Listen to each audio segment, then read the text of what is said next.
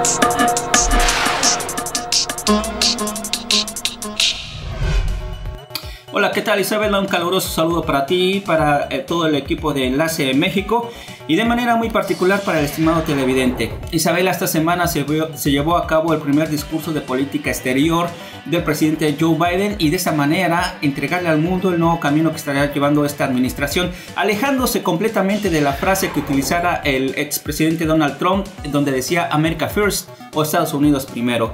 Y bueno, pues para eso el, el uh, presidente Joe Biden invitó a, diferentes naciones a unirse ante estos eh, problemas que, que, está llevando el mundo entero, una pandemia, una crisis económica, y que para eso eh, Estados Unidos eh, va a iniciar poniendo el ejemplo, va a retomar el liderazgo, como lo dijera el presidente Joe Biden, y primeramente a parar una de las políticas que quería el expresidente Donald Trump en, el, eh, en la política exterior. Y una de ellas era precisamente eh, retirar miles de tropas estadounidenses en Alemania. Bueno, pues ya lo paró el, el, presidente Joe Biden diciendo que no, van a continuar con ellos apoyando a Alemania. También dejará de apoyar la ofensiva militar de Arabia Saudita en la guerra tan larga, de larga duración en Yemen.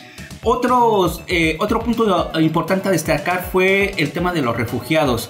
El expresidente Trump había puesto un límite de aceptación de refugiados en Estados Unidos de tan solo 15 mil refugiados. Bueno, pues el presidente Joe Biden lo aumentó 8 veces más eh, el nivel, eh, quedando la cantidad de esta manera. el presidente Trump lo redujo a 15 mil, mientras que el plan de Biden estará aumentando a 125 mil refugiados que podrán llegar aquí a Estados Unidos.